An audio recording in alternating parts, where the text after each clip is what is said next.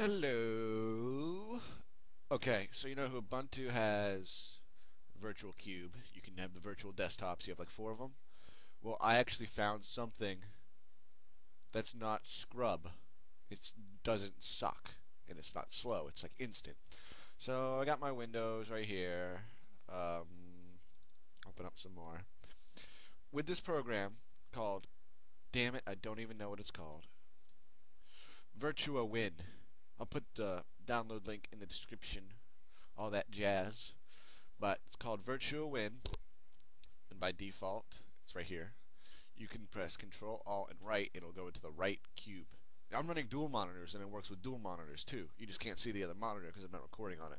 And I can open up a bunch of windows, bring TweetDeck over here, or if I want to bring TweetDeck down, like Control Alt down brings it down here. So as you can see down here, there's a little square. I'm on desktop 4. I can bring TweetDeck down there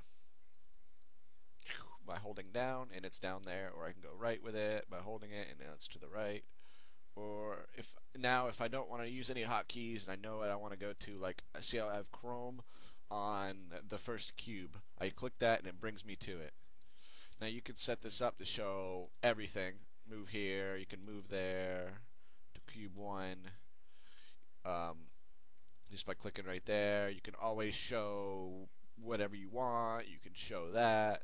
Switch to, it's genius and it works and it doesn't suck and it doesn't use it uses hardly any resources. My resources are like my all my all, uh, all four of my CPUs are like 30%. That's because I'm recording a video at 1920 by 1200, but I did not notice any change in my resources. I don't know what it's going to do with like a P3 or something, but with my rig, it didn't change anything.